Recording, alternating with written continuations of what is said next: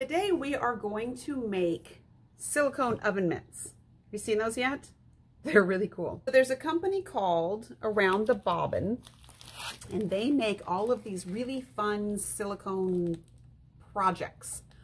They've got trivets, they've got um, mug rugs, they've even got a new um, item that just came out that's a baby teething ring, and they're all pre-made silicone pieces. So while this is a quilted project, it makes a silicone covered oven mitt. The, the cool thing about their patterns is you can buy the pattern with the insert and then you can also just buy the refills. So you don't have to pay for the pattern every time you want to make the project. You can get the pattern with the insert or you can just get the, the refill. What we're going to make first is a Star Wars themed oven mitt. Well, because I want one. So I figured I have to make one to show you guys anyway. I might as well get something I want to have at home.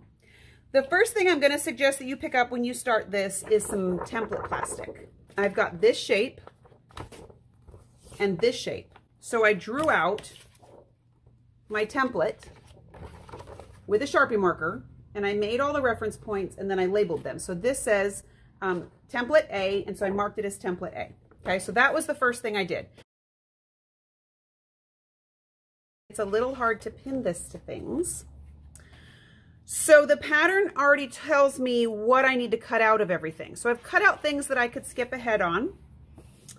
I wanted to show you this fun little trick though, because, um, so some of the pieces I've already cut out. So like here's a bit of our template.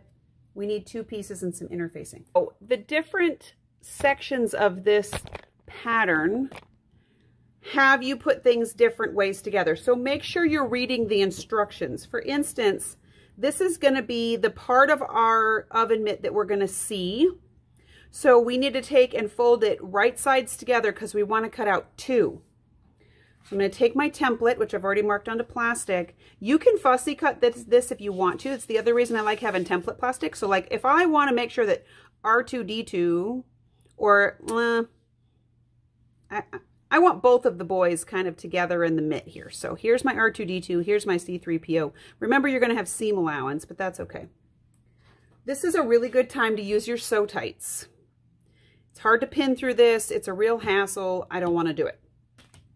So if I take my Sew Tites and I take my, my metal piece and I put it down on my table and I put my fabric and my template on top of it, and then I drop the other piece, huh, magnets are cool. So this is going to hold it all together. If you feel like this isn't stable enough, then put two on. Okay, it's going to hold through all of those layer, layers just fine. Then you can either, if you trust yourself enough to go around this with a rotary cutter, I do not trust myself that much. I'm going to take, um, you can even do this with a regular pen, but I like using a friction pen because I don't have to worry about if I make a mistake. I'm just going to trace all the way around this template with my friction pen. And what this is going to do is it's going to let me go through both layers at the same time. Okay, so I'm just going to trace out this one. Okay, now I can pick up my magnet, pick up my template, put my magnet back down, and now my pieces are stuck together still. Okay, so now I can just cut out my shapes because I've marked my pattern right on my fabric.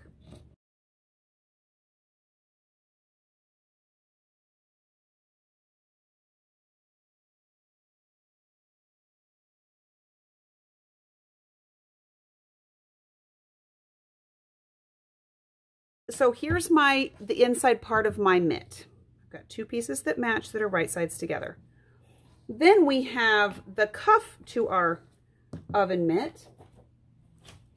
It has, we've cut out, take my magnet off, cut out my shape. These, I need two that face the same way, plus they're going to need interfacing.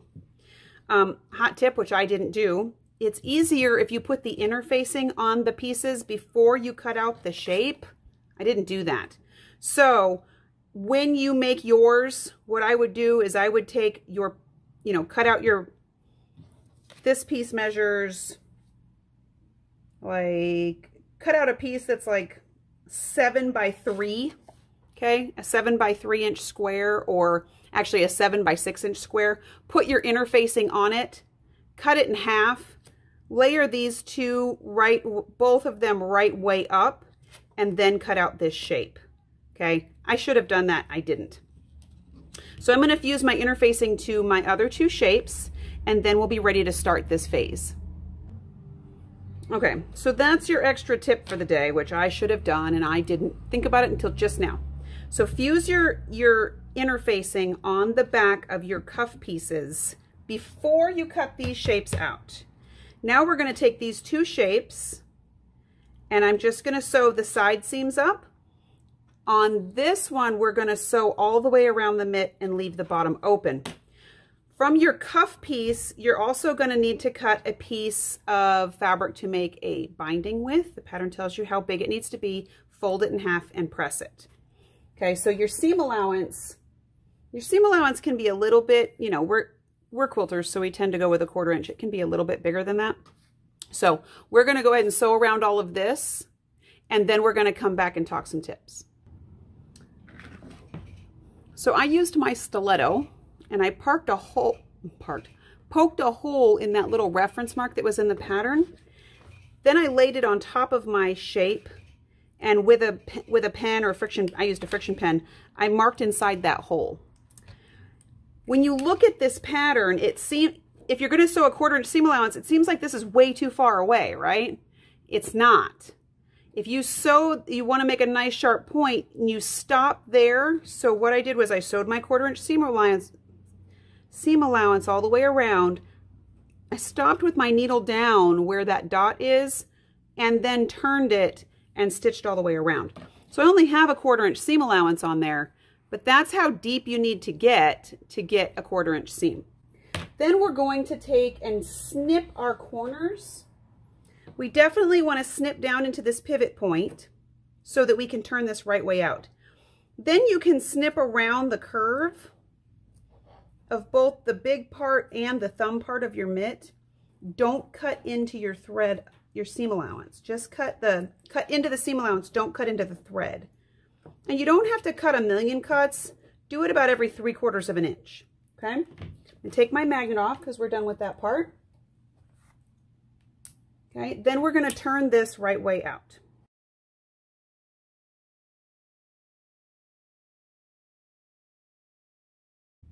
And then I'm going to take my, my turning tool and I'm going to roll those seams all the way out.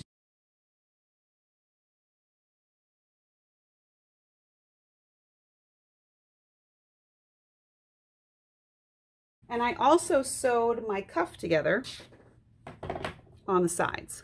Okay, so this is interfaced and this is sort of a tube now. We can also turn this right way out. So I did the same thing with my other template. So here's my template B. I took my pieces of lining fabric, put them right sides together and cut it out. So I can take my magnets off now. I can ditch my template now. In your kit, I've given you a fat quarter of a random piece of fabric. Um, it doesn't really matter because you're not going to see it. This is essentially the fabric that you're going to quilt this through. If you really like that fat quarter, keep it. Put something else you don't like in here to, you're just basically making an unseeable um, piece that's on the inside of the oven mitt. Okay, so I'm going to put my piece of fabric down. I'm going to lay my batting on top of this too. Then I'm going to take my two pieces of my oven mitt, of the inside of my oven mitt, and I'm going to lay them on this fabric. So this is cotton batting.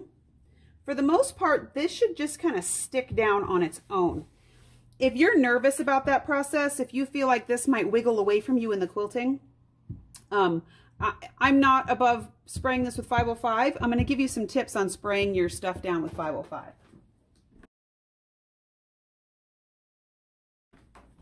Now, if you feel like you can just pin this in a couple of places, you can still just go and put your magnets on here, which honestly is probably what I would do. Just put your magnets on here and quilt around it. If you don't like that idea, or it bugs you that the magnets get stuck to your needle plate, lay everything out. You need very little of this. And honestly, I wouldn't normally do this on my cutting mat, but this is where you can see me. just spray a little bit on your backing fabric, roll your batting over and lay it down. Same thing on this side.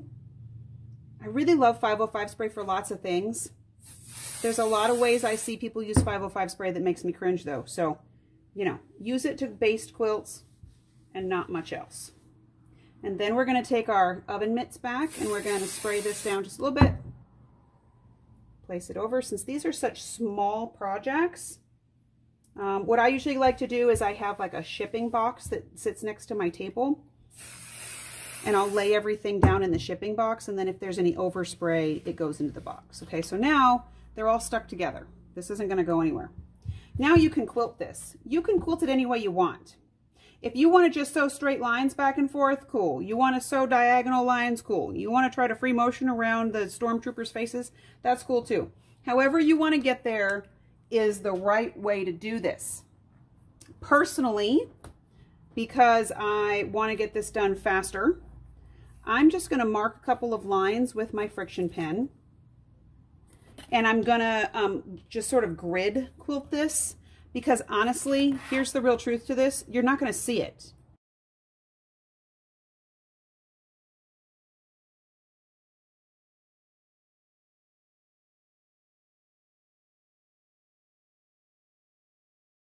Okay, next hot tip for the day. and, and I knew this, and, and I should have done this when I showed it to you. If you're going to cut your mitts out first, spray this on the back of this, not on the batting, because then your foot won't stick to it when you're quilting it. Conversely, you can just take this fabric, your batting, and this fabric and lay it all together and just quilt the whole thing. And then you take your mitts and you lay this on top and you draw it out and you cut it.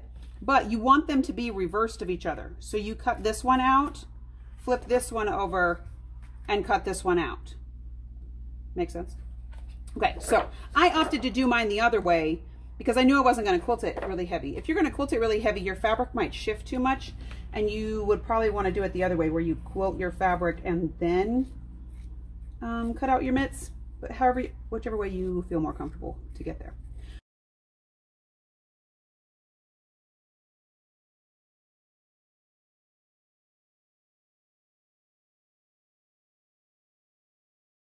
We're going to put them together. Again, this is a great time for your magnets, or you can pin them however you like. Personally, I'm going to put my right sides together. I take the flat part of my magnet, put it underneath, throw it on top, and they're going to hold it together for me. So I don't have to fuss with that. And I can take this to my machine, and I'm going to sew these two together. Once I sew these two together, we're going to put the whole the whole oven mitt together. Okay, so quarter inch seam allowance all the way around. Don't forget that you have to come way down in this point. Um, you can use this mitt to give you your pivot point because remember it's way down in there. The shape of these are different though, so make sure you know that you got to get all the way down into there for your pivot point. Okay? Okay, so I stitched all the way around my mitt. Since I'm using my Luminaire, my free arm is kind of big. Um, it it's just, it just is. So if your machine has a free arm that's too big to fit this in there like a sleeve, just fold the top piece back. And I'm just going to sort of stay stitch this closed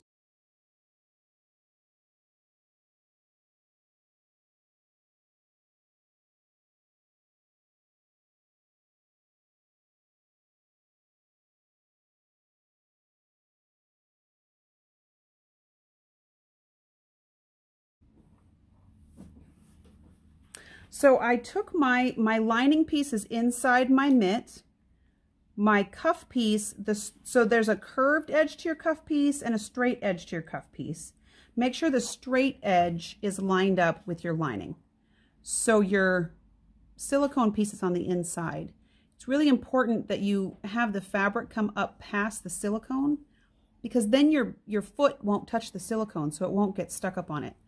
I'm going to use my Sew Tite magnets again for this step. Take the metal part of your magnet and put it down toward the bottom of your cuff and then pop it on there. And this way you don't have to have any clips or pins through this. It's just going to hold it in there. So just like we did um, when we sewed this, sewed the quarter inch around our quilted part, we're going to open up our, our layers. We want all three layers together. This should be sticking up a little less than a quarter inch above the silicone. So we're going to lay the silicone on our sewing surface and pull the top back. I'm using my J foot because I can, it's bigger than my quarter inch foot and I don't have to, you know, I can kind of see it. And the other thing I can do by doing this is I can move my needle back and forth to make, I can feel my silicones right there. So when I drop my needle down, right now I have it set just a little bit right of center. When I drop my needle down, I can see that my needle is just barely in the silicone, okay? Using a wider foot or um, not a quarter inch foot, you can have more control over that. So really slowly, because, because you've got a lot of weight over here, you don't want it to pull it out from under the needle. We're going to sew just a little ways and, and move our fabric around. Get our seams on the sides lined up. So the seam to your lining and the seam to your cuff should match up. And then stitch all the way around, making sure that you're hitting the silicone in between those layers. So having the two layers of fabric be what's touching your machine keeps everything from skipping around. Okay, so if you're having issues to where you're hitting the silicone and you're skipping around, then your fabric isn't quite long enough. Try to pull it up a little bit higher where you're just hitting fabric, okay? And yeah, there's it. this is a little bit fussy, so just mess with it until it's until you're as fussy as it is. This is the hardest part because we're sewing the inside of the cuff. And so you got to kind of fight with it until it gets flat and then sew it. Okay, so we're going to sew all the way around this cuff, and then we're going to do the, um, we're going to put the inside in. So inside your cuff here, there's one of these bands. See these sort of straight bands?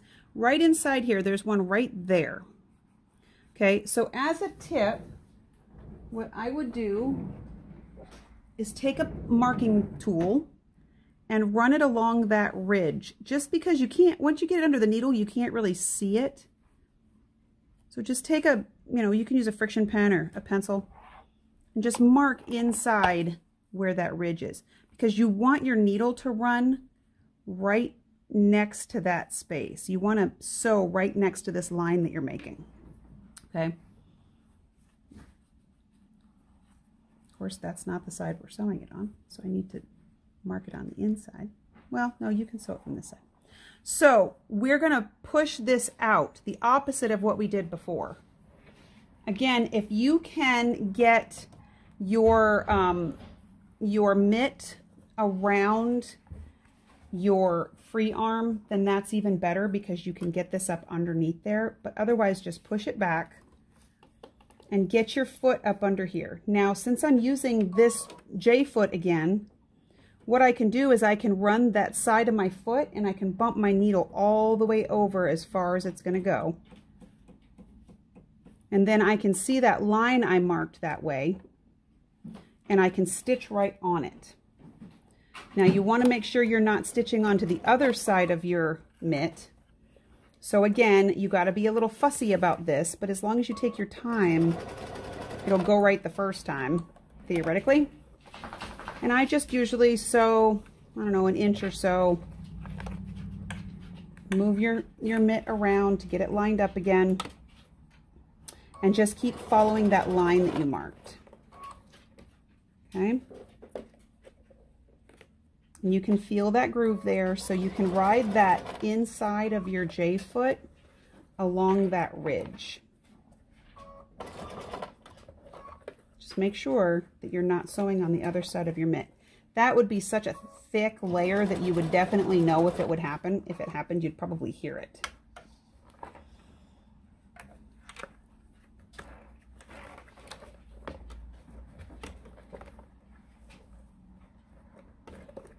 You get it laid out where you can have a two inch or so space that you can sew on, you're kind of golden.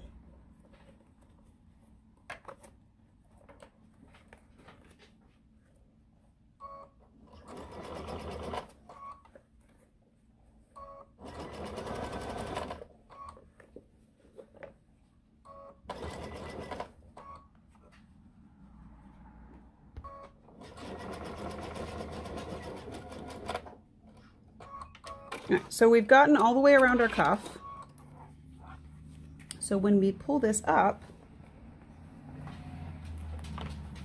so you can see just the very end of that ridge. And now you've got the outside of your cuff. Next, what we're going to do is take our binding. Remember I, we had you take your piece of binding and iron it in half. We're going to make a ring with it. So we're just going to put this right sides together.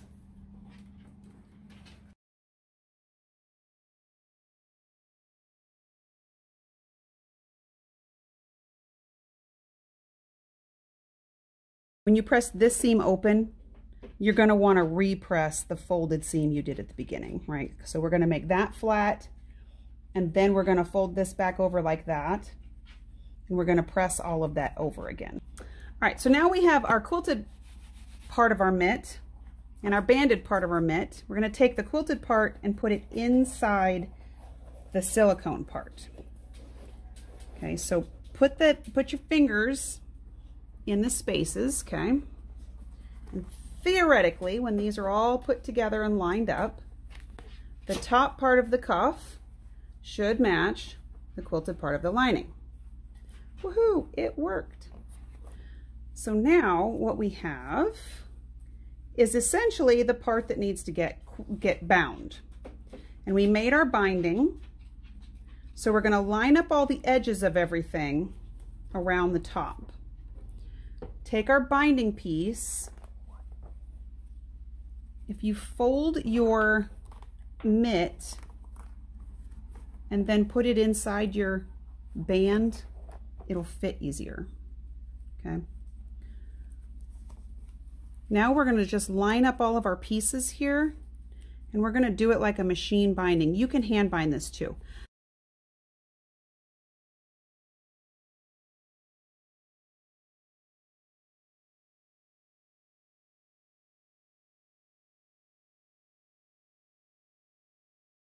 So we've got our groovy little Star Wars oven mitt. Okay, so that's how you work with this cool silicone stuff. I hope you have I hope you are inclined to and will have fun making these oven mitts just like I did. See you tomorrow.